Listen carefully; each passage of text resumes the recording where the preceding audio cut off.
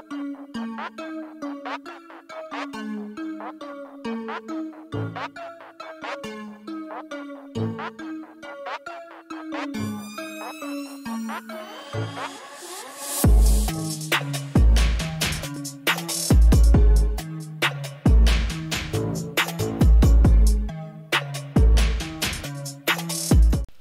les potes, c'est Luc officiel, on se retrouve pour une toute nouvelle vidéo, donc aujourd'hui les gars, je tourne l'intro en off, parce que j'ai pas trouvé, j'ai pas pu énormément faire le, j'ai pas fait les intros, et puis euh, on est beaucoup plus tard dans la saison, donc j'ai pas sorti les, vidéos, j'avais pas trop le temps.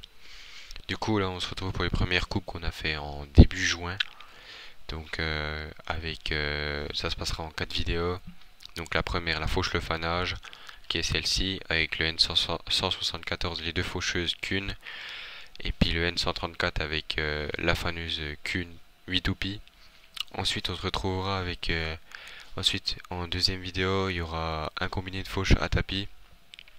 Trois faucheuses. Et puis euh, moi candenet et puis après il y aura deux vidéos en silage. Donc une avec donc les deux, les deux vidéos avec des ensileuses différentes. Donc voilà, sur ce les gars, bonne vidéo.